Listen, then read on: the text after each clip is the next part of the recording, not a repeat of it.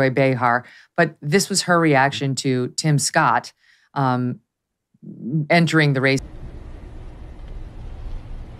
Why are you the way that you are? as well, suggesting he really just doesn't understand what it's like to be a black man in America. This is from Joy Hey, Joe. Hey, Joe. I'm over here. Joy Behar. Listen.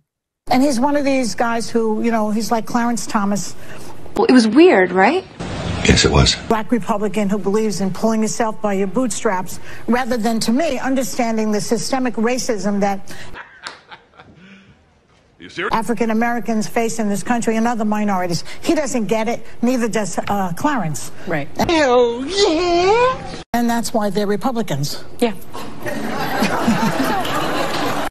Surprise, motherfucker. They need to be like, unlike Joy, who's actually worn blackface in ABC